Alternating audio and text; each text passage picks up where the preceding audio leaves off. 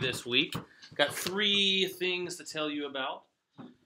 First thing is that next Wednesday, the 20th, is our Tamalada Christmas tamale dinner here at the church. We're excited about that. We need some help setting up beginning at 3 p.m. Now, I know most of your students are in school at 3 p.m., but some of them are not. So if you have any juniors or seniors or, or anybody who has an off period in the afternoon, uh, we would love it if you could ask them to meet us here at 3 o'clock to help set up the gym and with tables and food and all that kind of stuff for the Tamalada. So please let me know if you have any students that fit that bill and can be here, and I'll be in touch with them.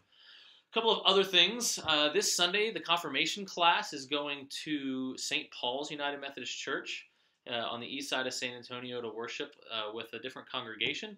Uh, we're going to be meeting here about 9, and I'm going to be leaving about 9.15 and won't be back until noon, so you probably will not see me this Sunday morning unless, unless you're here earlier than that. Just want to give you a heads up about that. Uh, and lastly, just want to remind you to please sign up for Winter Retreat by the 31st of December if you have not done so already. We need you there. The Lord is going to be present and move, and we need y'all's help to help make that happen. So please sign up for Winter Retreat at theustudents.org.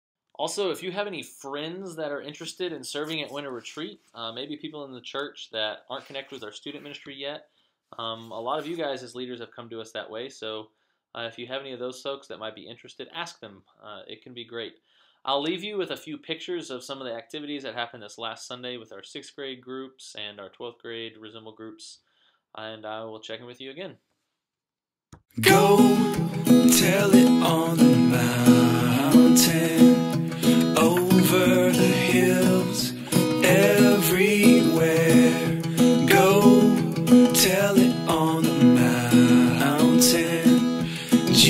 Jesus Christ is